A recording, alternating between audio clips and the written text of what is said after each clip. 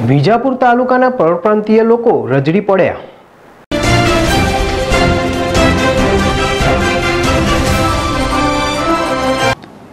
જિલ્લા વહીવટીતંત્ર દ્વારા આઠ હજાર જેટલા શ્રમિકોની નોંધણી કરવામાં આવી છે અને તબક્કાવાર આ લોકોને લક્ઝરી બસ દ્વારા તેમના વતન મોકલવામાં આવી રહ્યા છે.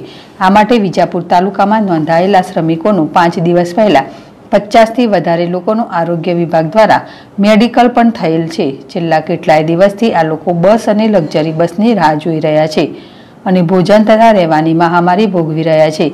આજે મામલતદાર ઓફિસ વિજાપુર આગળ લોકો આવી પહોંચ્યા હતા. ઉત્તર પ્રદેશના શ્રમિકોને છેલ્લા ચાર દિવસથી રખડાડી રહ્યા છે. શ્રમિકોએ કહ્યું હતું કે, અમે ત્રણ દિવસથી ભૂખ્યા છીએ. ત્યારે ગોવિંદપુરા જૂથ પંચાયત દ્વારા પિસ્તાલીસો રૂપિયાની માંગણી કર્યાના શ્રમિકોએ આક્ષેપ કરી રહ્યા છે. આ તંત્રએ આવા લોકોની વારે આવીને માનવતાના ધોરણે સહાય કરવી જરૂરી છે. બાકી મોટી જાહેરાતો તો બહુ થઈ રહી છે.